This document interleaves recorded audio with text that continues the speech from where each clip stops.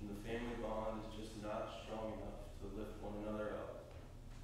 Whether due to something that is affecting the whole family or something that is ailing one individual family member, sometimes the people we share most of our time with just do not know how to push through that tough moment or react to that tough situation. In the nearly 18 wonderful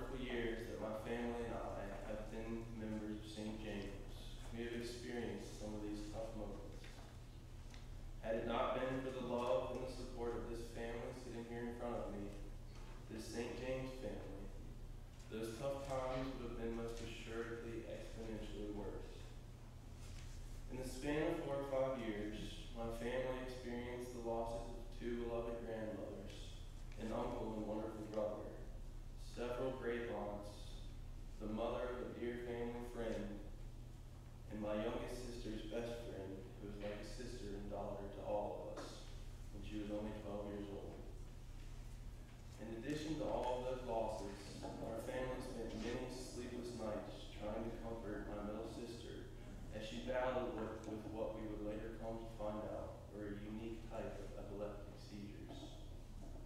Needless to say, there's a span of time in our lives where our family could not catch a break. And trying to deal with such difficult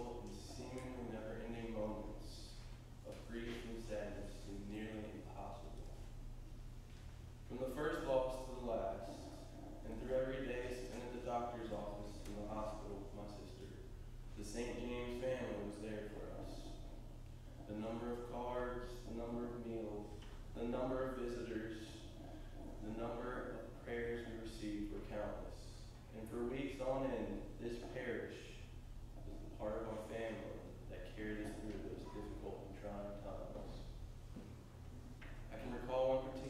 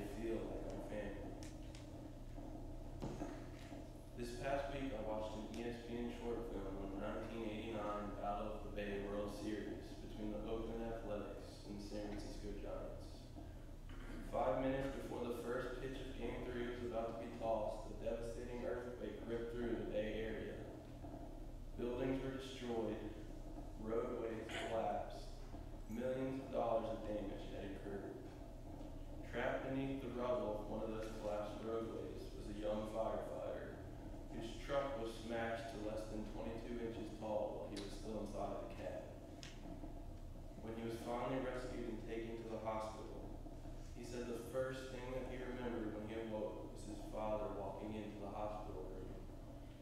As soon as that moment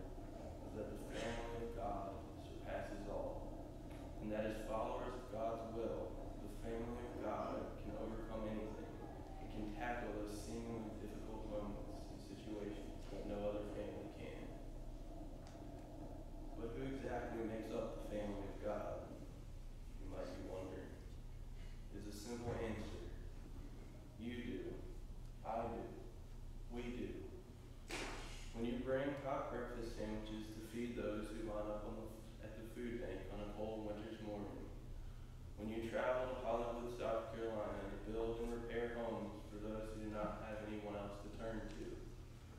When you raise money to put a young sorority woman through college. When you bring a hot meal to a family who is in need. When you bake over 1,000 loaves of bread to hand out to the community food bank.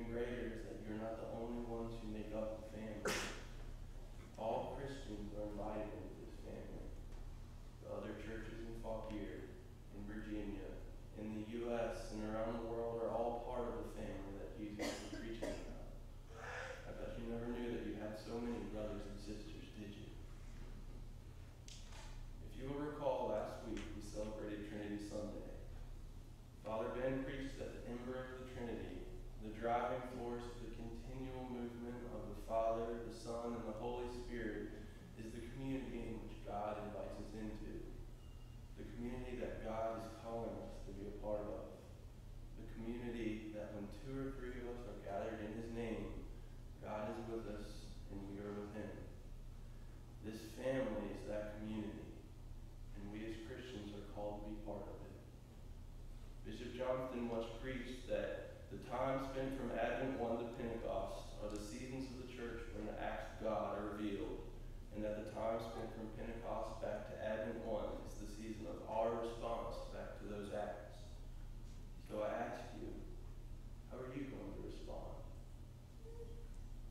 respond to this season of Pentecost knowing that you're continually being called to be a part of God's community, to be a part of God's family?